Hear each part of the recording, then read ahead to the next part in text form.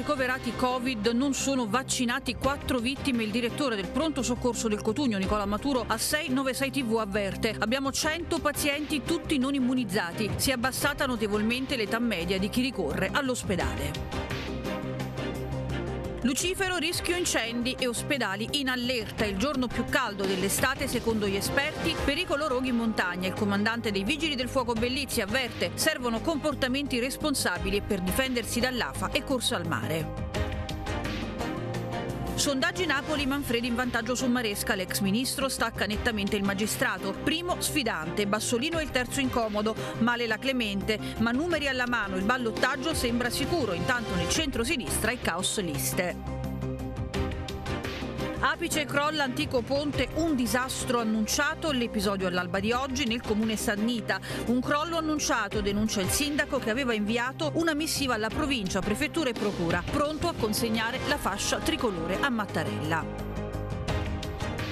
Avellino strage di alberi accuse alla regione, due platani abbattuti oggi a Viale Italia e altri due nelle prossime settimane. I cittadini protestano, una vergogna e l'amministrazione promette faremo da noi per nuove piantumazioni perché la regione è assente.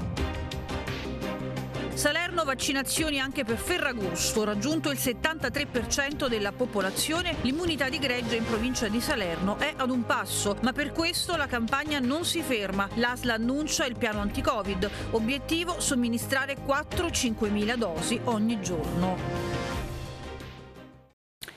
Buon pomeriggio, questi erano i nostri titoli, ben ritrovati con l'informazione regionale del canale 8 Channel TV. Apriamo questa edizione con l'emergenza coronavirus, con i contagi che avanzano e sono quattro i decessi. Ma la notizia del giorno è l'aumento esponenziale dei ricoveri, il Cotugno è pieno, 100 i pazienti ricoverati, sono tutte persone non vaccinate.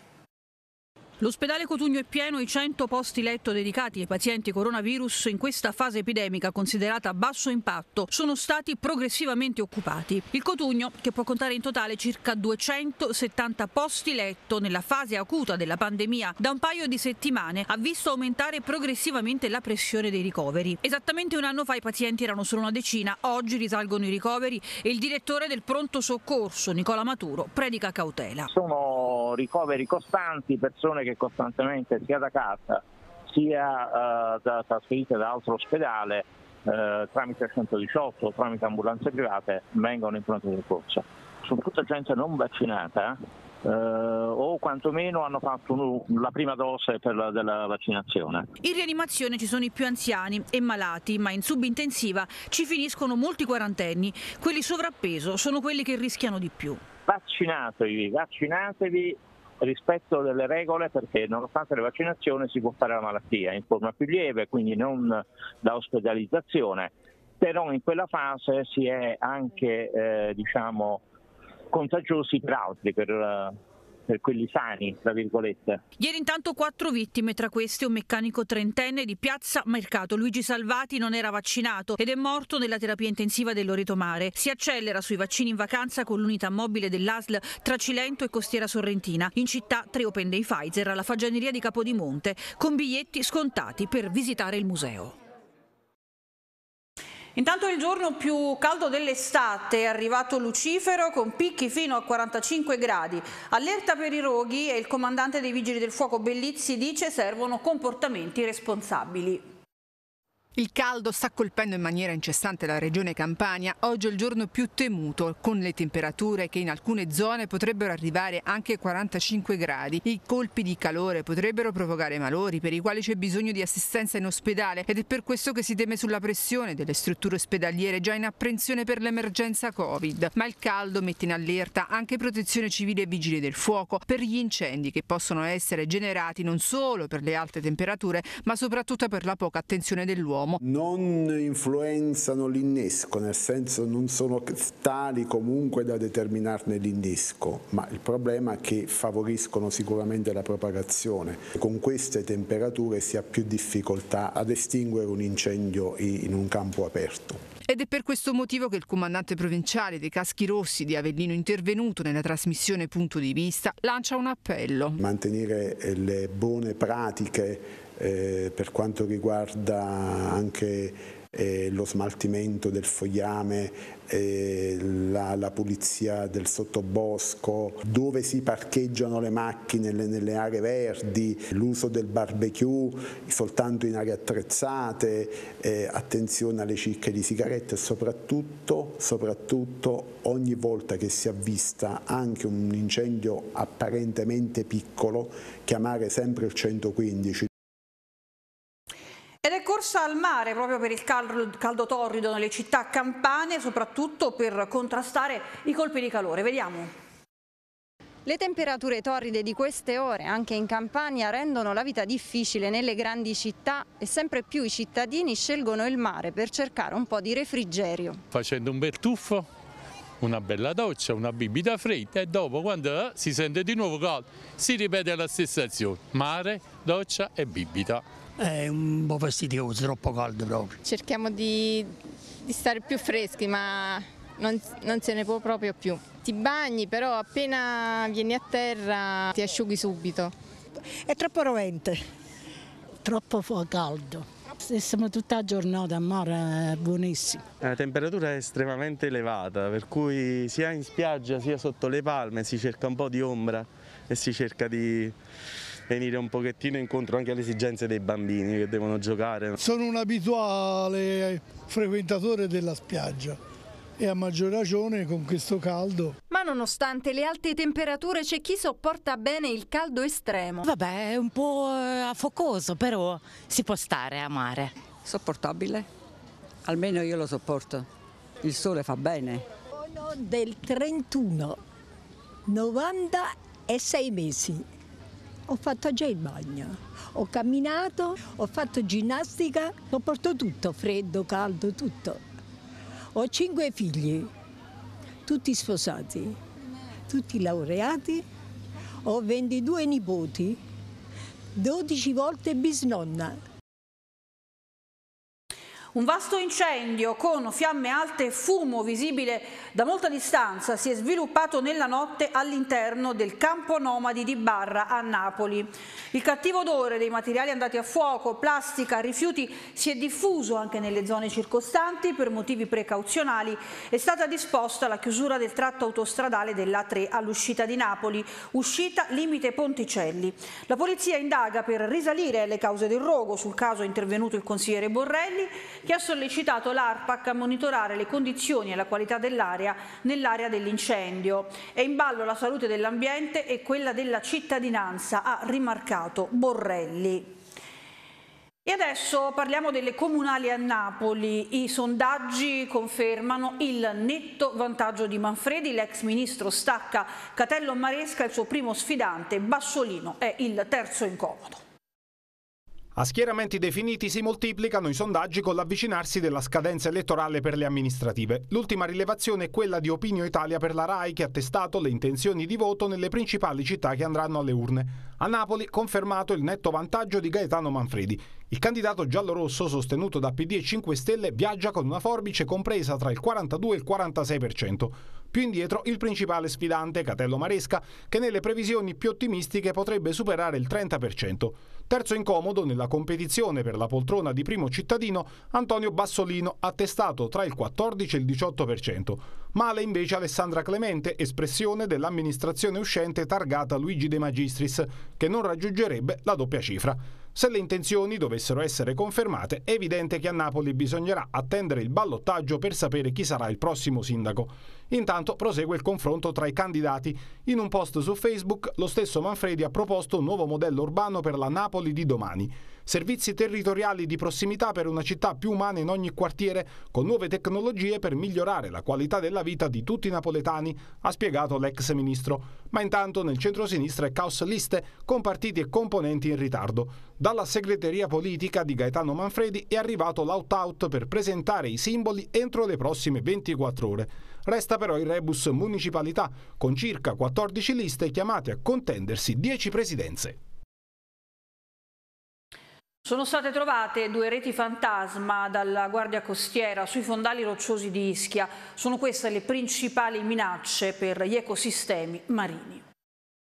I sommozzatori della Guardia Costiera hanno portato alla luce nelle acque di Ischia due reti fantasma, una della lunghezza di 20 metri e dal peso di circa 30 kg che giaceva sul fondale roccioso a 35 metri di profondità e una seconda dall'estensione di 100 metri e dal peso di circa 250 kg.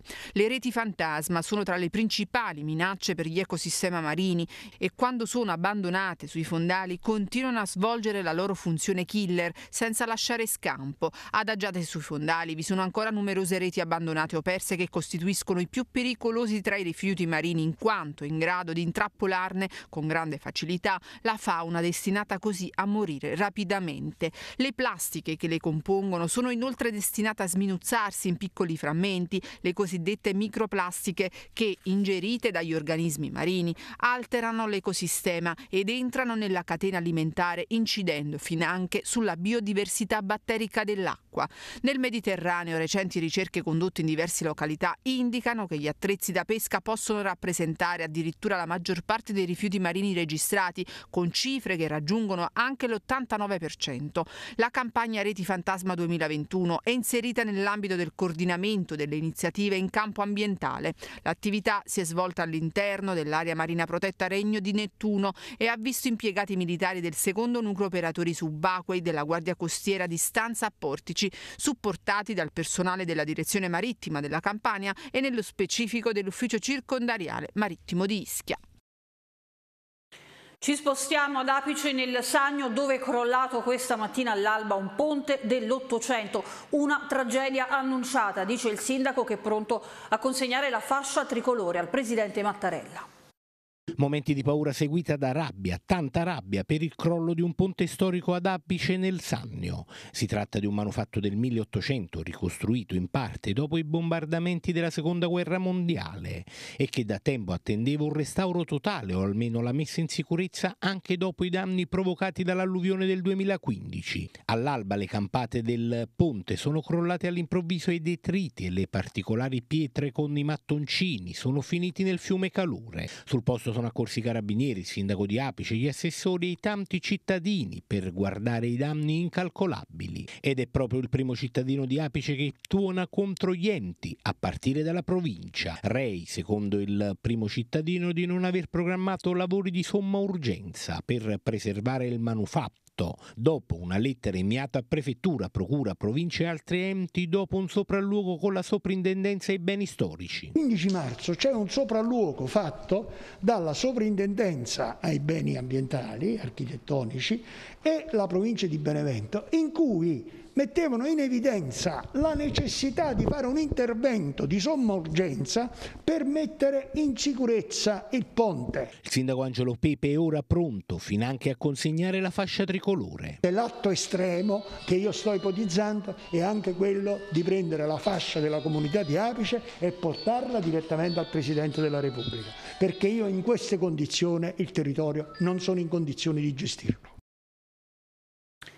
Adesso parliamo di Avellino, capoluogo sempre più povero di verde. Due i platani abbattuti oggi a Viale Italia, altri due quelli che verranno buttati giù nei prossimi giorni e c'è tanta rabbia tra i cittadini. Vediamo. Vengono giù altri due platani, continua l'agonia di Viale Italia, da questa mattina le operazioni di abbattimento degli alberi all'altezza della scuola Solimena. Secondo me è vergognoso togliere gli alberi da una, dalla città. Tanto a poco la volta stanno, stanno sparendo tutti. Questa è la soluzione meno costosa, però loro avete ucciso un albero, è come se avessero ucciso una persona. Sono rimasto meravigliato di questa cosa perché già Avellino è squallida come città. Il viale più conosciuto del capoluogo irpino si presenta ormai sempre più spoglio, una cartolina sbiadita del passato. Eh, ci vorranno anni per poterli vedere di nuovo com'erano. Sempre più povere di verde a Avellino. Una pezza già una quindicina, gli alberi verso la clinica Marzone, a destra e a sinistra. Ci vogliono per avere questa pianta qua 150-160 anni. Noi partiamo da sopra. L'assessore Negrone fa sapere che presto ne verranno abbattuti altri due all'altezza della clinica Malzoni e non manca di puntare il dito contro l'assenza della regione, ma promette il viale lo salveremo noi. Non c'è quasi niente da parte della regione per le nuove piantumazioni. Sicuramente questa amministrazione ha messo un milione di euro per rifare Viali Platani e sicuramente faremo delle nuove piantumazioni. E adesso l'emergenza Covid nelle varie province, andiamo nel Salernitano dove l'immunità di gregge è vicina e per questo la campagna non si ferma neanche a Ferragosto. Il camper mobile dell'ASL continua la somministrazione del siero nelle località turistiche, ma a Salerno e provincia si lavora per vaccinare quante più persone possibile ovunque, anche a ridosso di Ferragosto. L'azienda sanitaria ha illustrato il piano di immunizzazione anche nei giorni di ferie, con l'obiettivo di tagliare il traguardo dell'immunità di gregge di qui ad un mese. Certamente in questo periodo qual abbiamo qualche numero in meno, abbiamo un dimezzamento dei numeri globali complessivi, però riusciamo a tenere ancora aperti i centri vaccinali e invece degli 8-9 mila al giorno ne facciamo 4-5 mila, però riusciamo a reggere. Continuando in questo modo, pensando già che dopo eh, la, seconda, la terza e quarta settimana di agosto riprenderemo grandi numeri sui 50-60 mila, metà settembre dovremo raggiungere i nostri obiettivi. Numeri alla mano, l'ASL si dice fiduciosa del percorso intrapreso. La priorità, ancora una volta, in queste settimane sarà indirizzata soprattutto ai più giovani, con l'obiettivo di riprendere le lezioni in presenza. Sul nostro territorio in questo momento stiamo vaccinando anche eh, pazienti, anche persone che vengono da, altre, eh, da, altri territori. Ieri sera ha vaccinato 300 persone a Casalvedino. Siamo al 73% dei vaccinati della popolazione generale con una dose, siamo oltre il 60% dei vaccinati con due dosi, che significa che siamo in condizioni di reggere questo avanzare della, della, variante Delta. Siamo al 43% della popolazione più giovane già vaccinata, su questa popolazione faremo uno sforzo ulteriore perché dobbiamo essere in grado di garantire una tranquilla riapertura delle scuole. Il sindaco di Petrelcina, il presidente della provincia di Benevento, attraverso l'arcivescovo della metropolia di Benevento, hanno chiesto a Papa Francesco di nominare San Pio da Petrelcina compatrono del Sagno con la Madonna delle Grazie. Ci racconta tutto Alessandro Fallarino.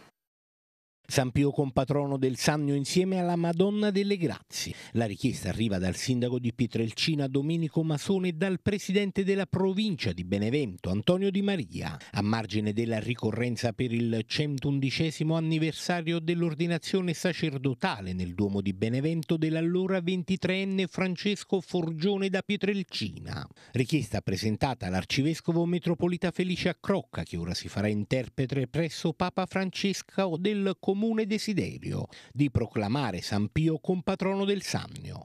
E questo può essere un esempio eh, culturale prima che spirituale di un grande uomo per i laici, per un grande santo per i cattolici. Quindi chiedere questo a Papa Francesco e fare un'eccezione, farlo diventare copatrono naturalmente dopo la Nostra Signora delle Grazie, era, è un, un atto di eh, di affetto sì, ma anche di ritorno alla coscienza che noi dobbiamo avere di noi stessi.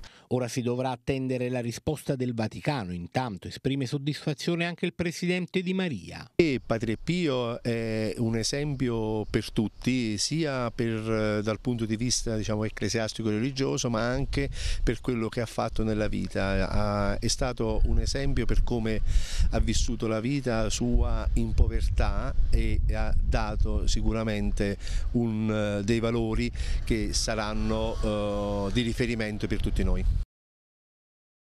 Arriva il disco verde da Palazzo Santa Lucia, il Ferragosto avellinese si farà, luminarie, fuochi ed eventi, ma in città prevale lo scetticismo.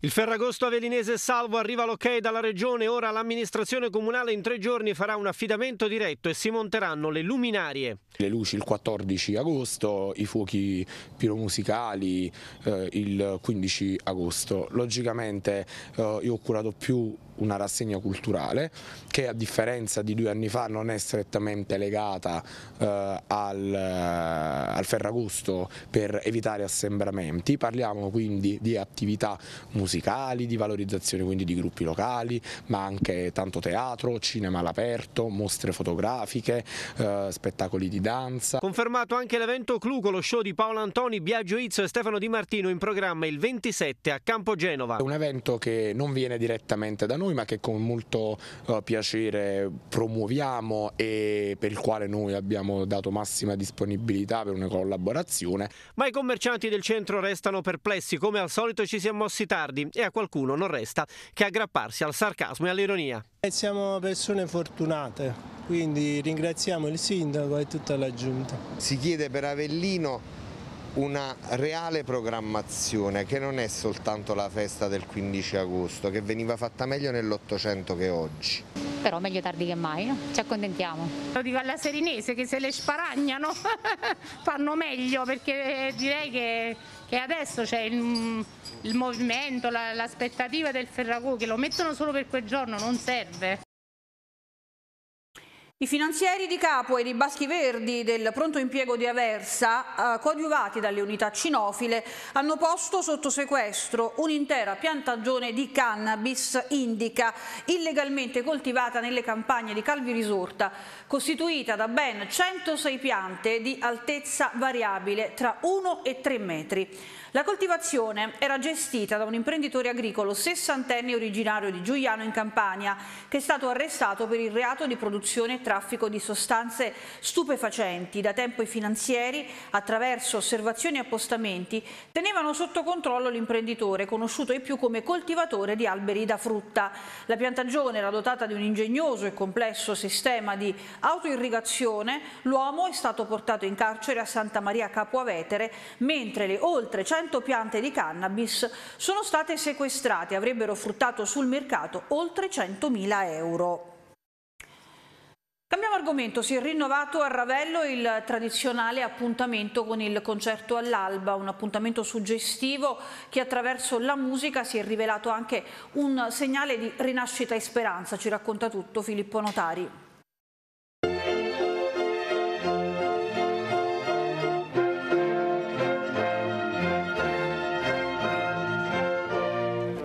Il nascere di un nuovo giorno è stato accompagnato da una musica sublime che ha incantato e rapito il pubblico del Ravello Festival. Come ogni anno la città della musica ha ospitato il tradizionale concerto all'alba, un evento clou caratterizzato dal suggestivo passaggio dalla notte al giorno e che quest'anno ha rappresentato anche un segnale di rinascita e speranza. Non a caso il significato del passaggio dal buio alla luce è stato sottolineato dal direttore d'orchestra James Conlon che a fine concerto richiamato sul podio dagli applausi del pubblico, ha concesso come bis l'ultimo movimento della pastorale di Beethoven, come augurio per un futuro di serenità per l'umanità così provata dalla pandemia. Sul palco del Belvedere di Villarufolo, l'orchestra giovanile Luigi Cherubini ha eseguito un programma monografico dedicato al Beethoven delle sinfonie numero 8 e numero 6, uno spettacolo unico che ha regalato alla platea del Ravello Festival un concerto di grande spessore e coinvolgimento, emozioni rese ancora più forti dalle dall'incantevole location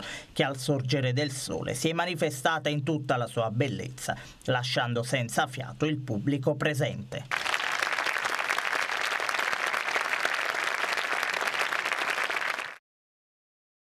Da parte mia è tutto, il TG finisce qui, grazie ad Enrico Coppola in regia e buon proseguimento su 8 Channel TV.